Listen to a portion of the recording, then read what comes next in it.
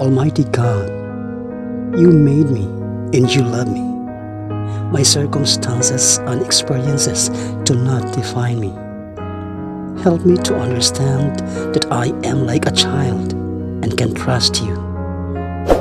Whatever I do today, your loving eye is on me, and you have promised to care for me. Help me to bring everything in my life before you.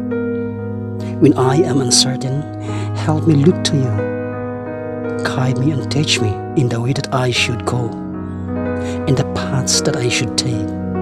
Oh Lord, I pray that you would help me to avoid temptation and sin as I pass through this fiery trial. Lord, give me the strength and perseverance to continue on the path of righteousness. Thank you for the grace to stand firm to the end. I ask that my spirit would overflow with praises and thanksgivings. You are worthy of it all. Holy Father, you are the protector, leader, guide, teacher, deliverer, and Father. You are the God of miracles, breakthrough, and the impossible. I gave you my burdens. I surrender my life, heart, and situation into your trustworthy hands. I believe that you will accomplish a good work and that I can trust you. I come before you, O Almighty Father. As the sun rises, may your hope rise up in me. As the birds sing, may your love flow out of me.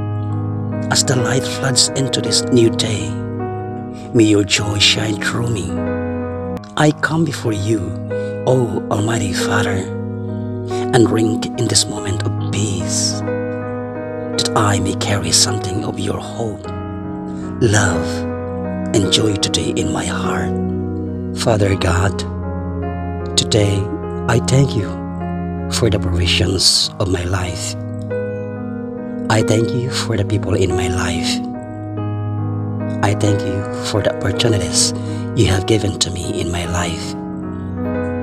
I thank you for the acceptance and forgiveness you have lavished upon me in spite of my sinful actions and choices. I thank you for the healing you have brought into my life, physical and emotional. I thank you for the way you have brought me back from the darkness that lurks in my soul and the choices I could have made that would have landed me in pit or the choices I have made that did land me in a pit. I thank you for the desires of my heart that you have satisfied with good things and the desires that I have not yet seen satisfied. Help me to be confident because of the grace you have given to me in so many others ways that even my unmet desires would be something I could be grateful for. In Jesus' name, Amen. Ask, and it will be given to you. Seek, and you will find. Knock, and door will be opened to you. For every who asks receives, the one who seeks finds, and to the one who knocks, the door will be opened.